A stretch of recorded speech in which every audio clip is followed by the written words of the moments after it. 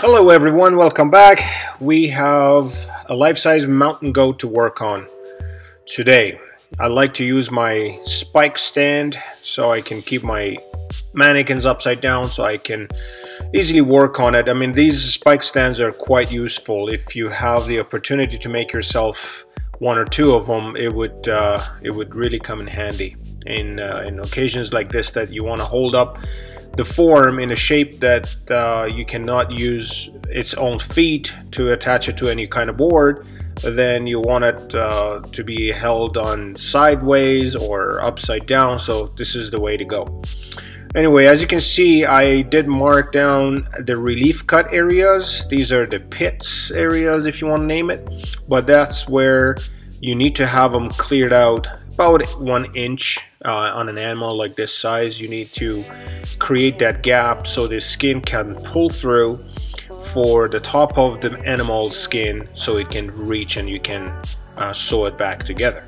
Otherwise uh, they're gonna get bunched underneath the uh, belly and then you cannot have enough skin to finish the mount so it's a necessary thing especially on the back legs and uh, it is important to make it um, basically deep enough not too deep and not too not not deep enough.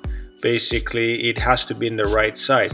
If you cut a little bit more it would be okay but if you cut too short or not enough then you can run into problem if the skin is getting bunched up and is not reaching on the top. So um, it's important to have the right amount and uh, I like to based on experience I like to give it a shot the way I think it's the right amount.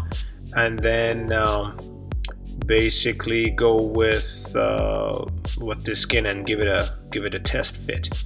So I usually create a big gap with my reciprocating saw make a, a big start.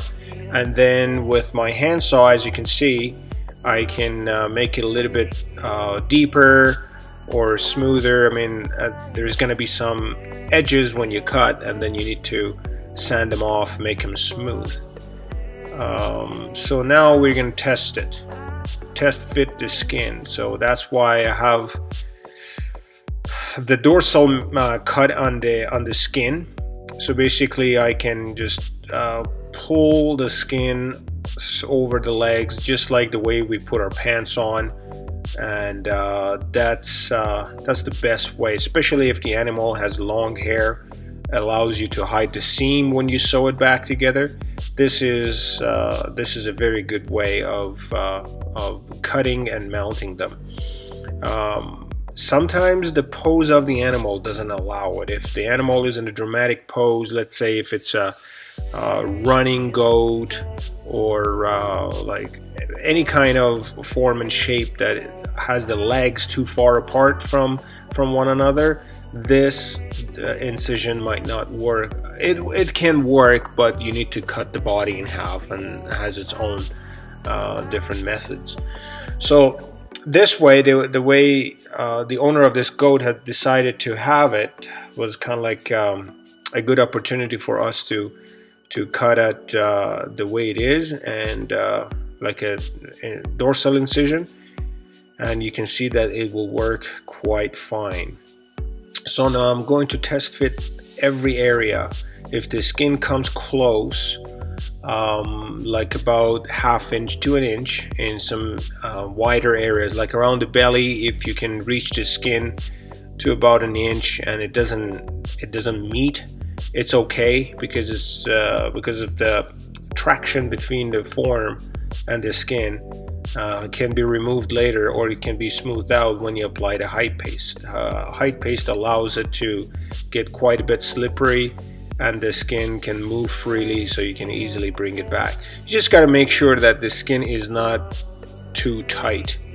Uh, you want it, I sometimes don't even want it snug, I want it relaxed because the, the more pressure you put on the skin when you're mounting it, let's say if you're pulling it too hard to make the ends meet so you can sew, always keep in mind that when the skin is drying, it's going to shrink. No matter what you do, they're going to shrink. There is moisture in it, and when the moisture goes and dries, any kind of skin will shrink. up to different degrees, but they all shrink.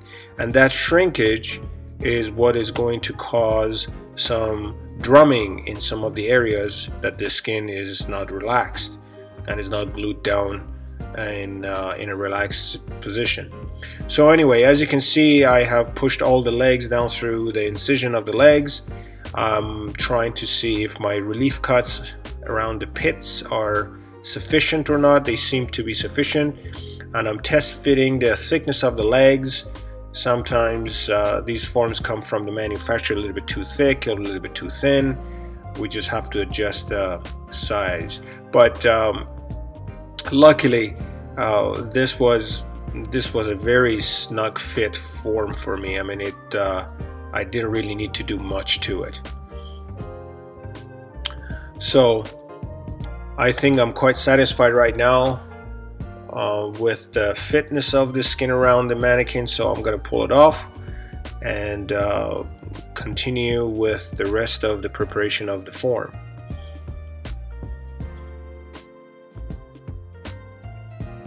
I take the skin off, it's wet tan, and uh, I put it in a bag, close the bag, and put it in the fridge. So it stays moist and pliable till I want to work. I mean, you can keep it for days in the fridge just like that without having any problem problem for it. So I had uh, designed what kind of a like in my mind I've designed uh, what kind of a rock scenery this goat is going to go on and based on that we have um, basically a very small uh, 2x4 frames made just like what you see right now and this is going to be all holding up the goat and eventually it'll be hidden underneath the uh, artificial rock scenery so what we need right now is um, a, a, a, basically a frame that the goat is being held up while we're working on it. So also make sure that it's 100% level from look at it from behind, look at it from the front, and those use those nut and bolts that are uh, on each leg rod. Use those to have it quite level and straight. Once you're satisfied, you can continue with roughing up the surface of the form with any kind of tool that makes it easier for you because that is also very necessary. It it creates a rough uh, surface for for the glue to adhere to, and um, that's just great because these these mannequins are coming from the company quite slippery with a quite, uh, slippery surface on them. Yeah, you can see the face that I have drawn on the end part of the goat. Looks like a little sad person. Anyway, um, anyway, uh, you can you can rewind the video and uh, and see what I'm talking about. Uh, the end of the goat looks like a uh, looks like a face of a person. Anyway, so I'm um, drilling out the nostrils and creating the uh, the mouth gap or the slot that uh, we're supposed to tuck the lip skin into. Basically doing all the preparation of the form so we can proceed with the mount. And the next thing, because we have our dorsal incision from head all the way to the tail, is just uh, putting the skull plate back on. As you can see, it's been cut a little bit too short. And always my guide is the eye socket because these forms have been professionally made with that in mind and uh, they leave that space for us. So basically if I can hold that skull plate to a point that my socket, eye socket, looks normal and round, that's the right place for it. So as you can see, if I put a little bit of a piece of plywood in two different spot, my eye socket is going to turn into uh, a fairly round position and that gives me the idea that okay that's exactly where I need to put it. And I like to hold down my blocks of plywood with a couple of brad nails or nails. So when I want to um, screw down my skull plate I don't have to hold them up with my hands so right now I have made some pre-drilled hole before skull plate on a goat is quite thin so you got to be very careful not to break it they don't have a very uh, heavy or thick skull play, uh, skull walls on on their on their head. So I do not necessarily countersink them because the skull doesn't have the thickness that uh, allows me to do that. But again, you know, there's going to be enough material covering the screw head, so I'm not too worried about it. As you can see, one, one of the holes in front uh, of the forehead is just gone too wide. You can see that my screw is going to go right through. But what I do, I don't push it all the way in as, as, as, as long as it's uh, grabbing and cinching tight the skull back into the mannequin I'll just leave it like that. And I cover up the, the rest of it with uh, paper mache.